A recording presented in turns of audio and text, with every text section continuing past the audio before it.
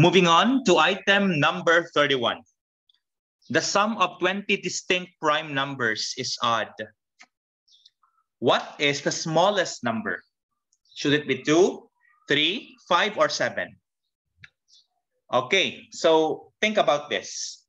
Let's do some sort of analysis here.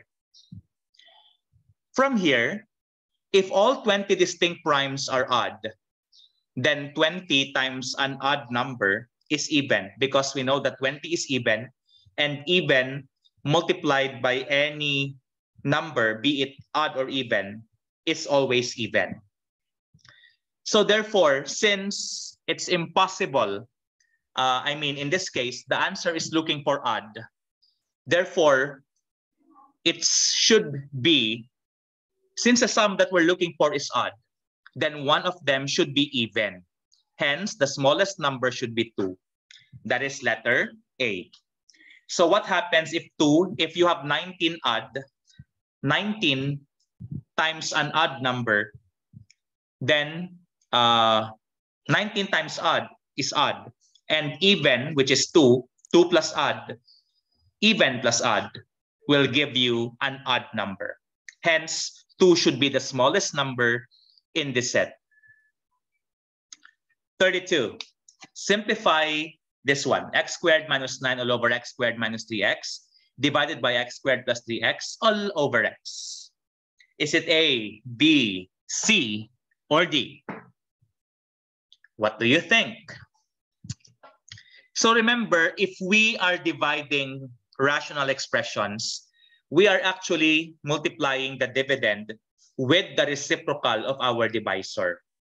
Hence, I copied this one first and I multiplied it with the reciprocal that could be achieved by interchanging the numerator and denominator of our divisor. And you see, we proceed now to the multiplication.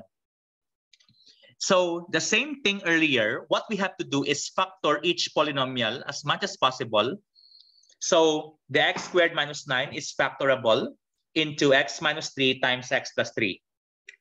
For the denominator, we have uh, the GCF could be factored out. So we have x times x minus 3. The x could no longer be factored. x squared plus 3x could be factored as x times x plus 3. From here, you could see that the ones in red would cancel and become 1. The ones in green also, and the excess will also cancel here. And what is left is 1 over x, letter A.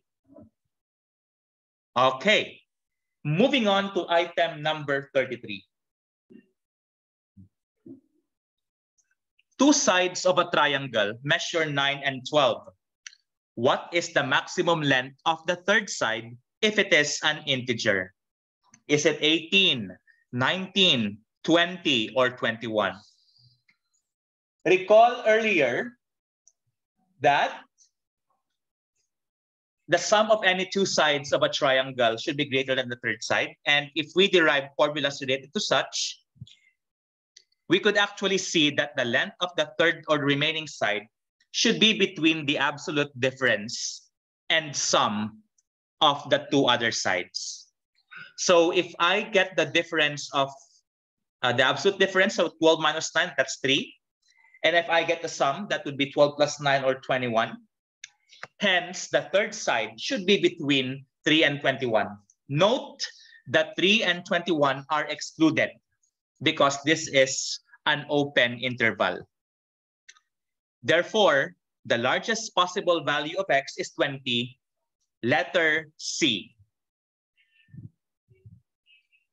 Next number, 34. What is the smallest interior angle of this triangle if side AB is 4, side BC is 5, and side CA is 7? Is it A, B, C, or it cannot be known? What do you think? If you could still recall your hinge theorem or the inverse of this theorem, you could actually see or realize that the smallest interior angle is opposite of the shortest side. Since the shortest side is AB, which has a length of 4, then its opposite angle C should also be the smallest angle in terms of measure. Hence, letter C is the correct answer. 35.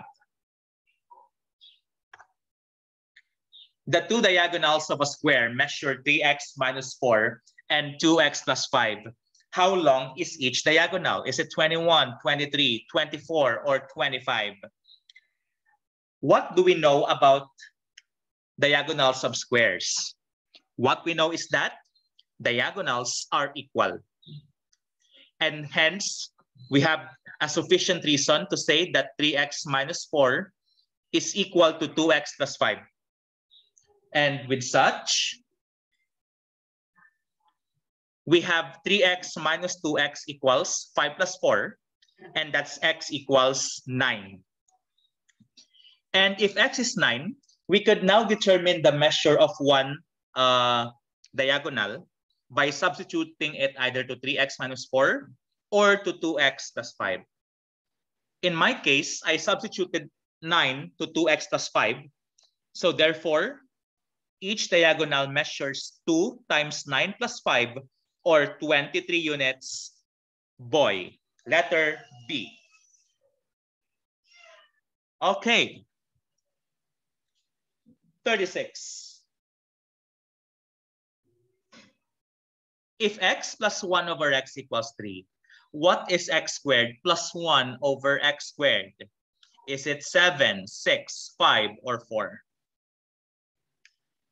So here, algebra-wise, um, don't I believe, no, you may look for the specific values of x, but I think that will make your work quite longer.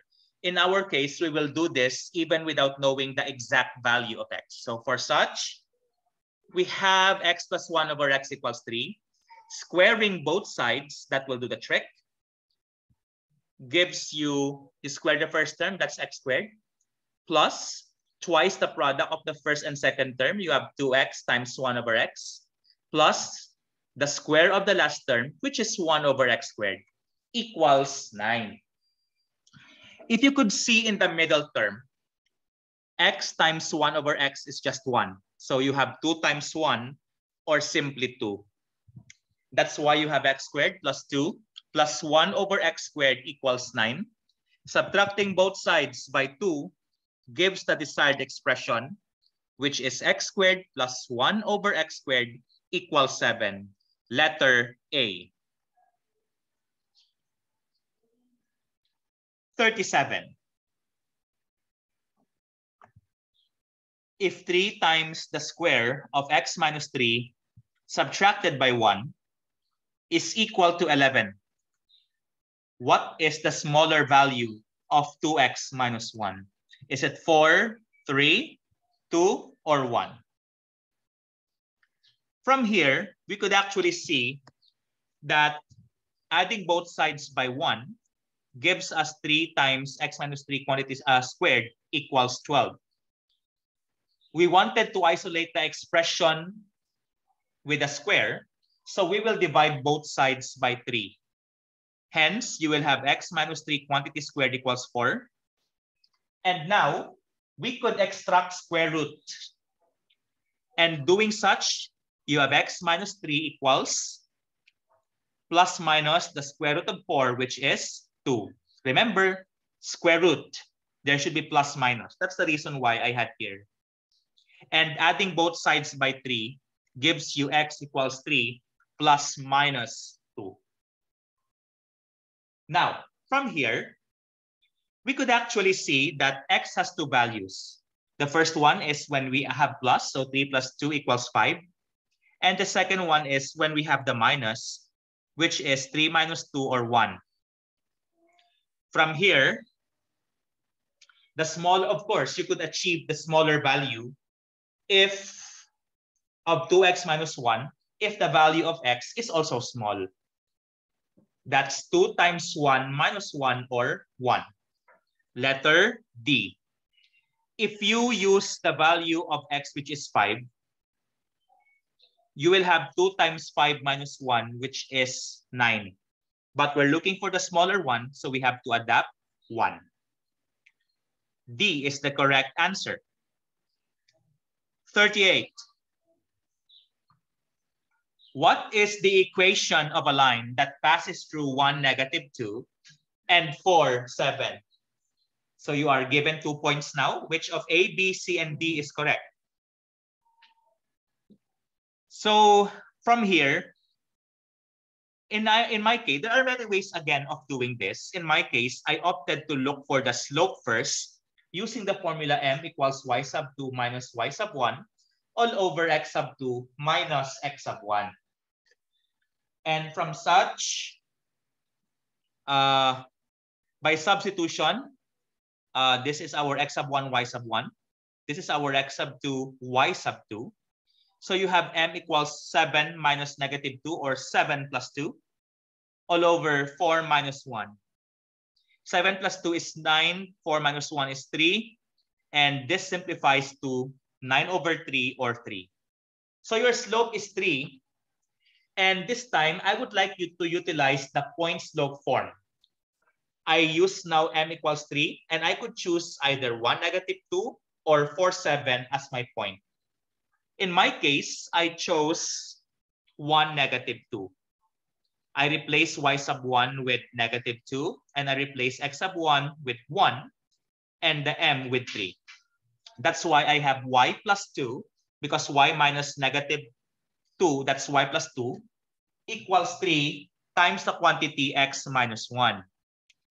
Distributing the 3 to the x minus 1, you have y plus 2 equals 3x minus 3. And adding both sides by uh, I mean, simplifying this gives us 3x minus y equals 5. And if you could see, it's not one of the choices. Letter E is the correct answer. I hope you could still remember that if the correct answer is not found among the choices, you have to answer E. Thank you. 39. Consider f of x equals ax squared minus 4x. If f of 3 is 6, what is f of 5? Is it 30, 35, 37, or 38? We could see here that a is missing. So I believe we have to solve for a first. Using the fact that f of 3 is equal to 6, we will uh, substitute 3 with 6. Uh, substitute x, rather, with 3. So f of 3 is equal to a times 3 squared minus 4 times 3. And since the value according to the given is 6, that's why it's equal to 6. Then you will have this one, 3 squared is 9, so 9, a times 9, it's 9a, minus 4 times 3 or 12 equals 6. Adding 12 both sides gives 9a equals 18. Dividing both sides by 9 gives a equals 2. So now we know the value of a, which is 2. We have to substitute it back here. Therefore, your function is f of x equals 2x squared minus 4x. And we're looking for the value of f of 5. So f of 5 equals 2 times 5 squared minus 4 times 5. That becomes 50 because 2 times 25 here is 50 minus 20, which is 30, letter A. Good job. I hope you got it. Number 40. If i equals the square root of negative 1, your imaginary unit, and i squared equals negative 1, what is the value of 3 plus 2i multiplied by the quantity 1 minus i? Is it 1 minus i 5 plus i, 5 minus i, or 1 plus i? Let's see if you got the correct answer. So employing again the FOIL method, so 3 times 1, that will be 3. 3 times negative i will be negative 3i. 2i times 1 will be plus 2i. 2i times negative i will be negative 2i squared. But remember that the value of i squared is negative 1. So I have here 2 times negative 1. the negative 3i plus 2i simplifies to negative i. That's why I have it here. Simplifying further, negative 2 times negative 1 is plus 2. So I have here 3 minus i plus 2. Combining like terms gives 5 minus i, which is letter C. So far, so good? I do hope so.